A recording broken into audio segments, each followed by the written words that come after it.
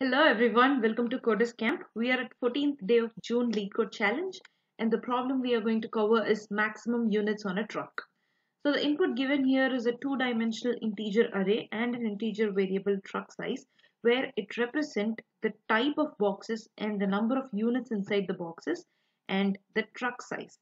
And we have to fill in the boxes into the truck size that the truck size should not exceed with the number of boxes we put in and we have to return the maximum total number of units that we can put onto the truck. So let's understand this problem with an example. So here is our given input in the problem statement where we have three types of boxes where in type 1 they have one box and in type 2 they have two boxes and in type 3 they have three boxes and each box of type 1 can hold three units and type 2 can hold two units that is each box two units so total it has two box so 2 into 2, it can totally have 4 units.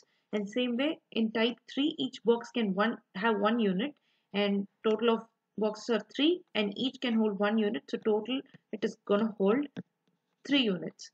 So now we have to fill our truck with 4 boxes max and we have to return the total number of units we can fill our truck with and that should be maximum. So now we can pick the box number 1 of type 1 in our truck. So that is going to be of having units 3 so 3 plus so we have inserted one box into our truck. So now our truck size has become 3 so we still have three more left to fill in our truck. So moving on to a type 2 where we have two types of boxes and we are going to take all these two to our truck. So again our truck is going to fill with four units because we can fill two units and in each box of type 2 so once we put these two into our truck, our truck size will now become 1. We have only one box left to fill. So now we have three boxes of type 3. So we can pick only one box out of this. And here each box can have one unit.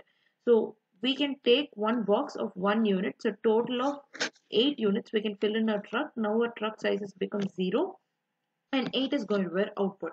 So how are we going to approach this problem is if you see the hints given in the problem statement, they have clearly gave the idea of the solution. That is, we have to fill the maximum number of units to our truck, which means we have to pick the boxes with maximum units first and then move on to the minimum ones. So to do that, we are going to sort the given array based on the number of units in the boxes and in the non-increasing order. So once we sort that that way, we are going to pick the boxes in the front or in the first indexes, then move on to the later ones. So now take the same example, our truck size is going to be 4.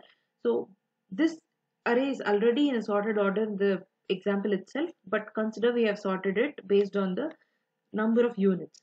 So now we are going to take 1 which is which is which will give us the maximum units of 3 and again take 2 from the second type and we have filled our truck with three boxes by choosing the first one and the second one.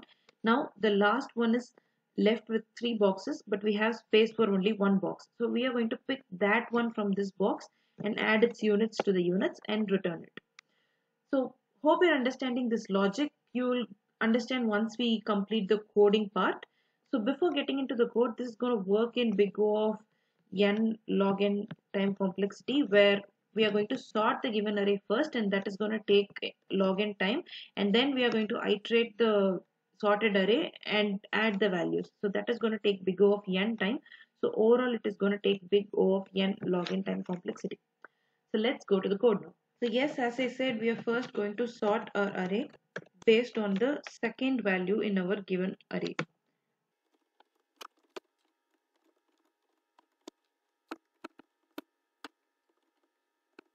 So once we sorted the array, let me declare my max units. And this is going to be the output we are going to finally return. So now I'm going to iterate my sorted array.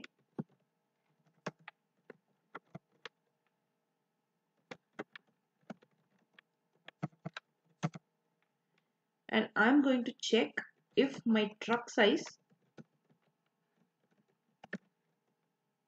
is greater than or equal to box of 0 box of 0 is nothing but the number of boxes of that type.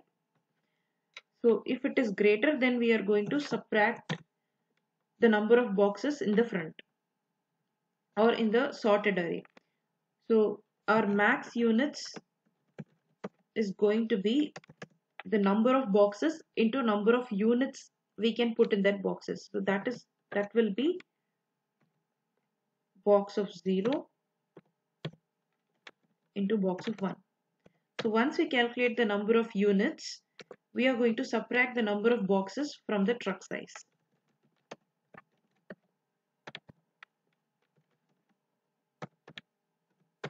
So yes, this loop is going to go until our truck size is greater than the number of boxes. Like I said, once we fill our truck with three boxes from type 1 and type 2, we are left with three boxes in type 3. In that case, our truck size will become 1 and our box size will be 3, which is nothing but 3 is greater than the truck size right now. So in that case, we cannot pick all the boxes of that type. Instead, we can pick only what is left as the truck size.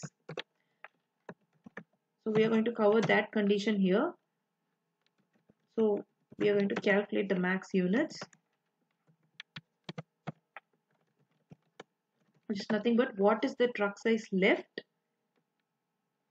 into box of 1 which is nothing but the number of units of that particular type. And finally return max units.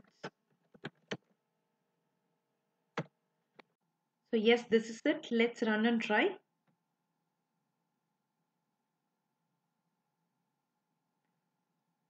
Let's submit.